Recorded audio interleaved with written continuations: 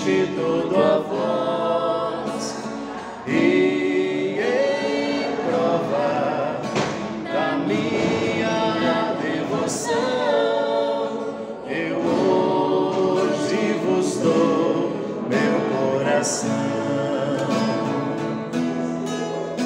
Consagro a vós meus olhos, meus ouvidos, minha boca.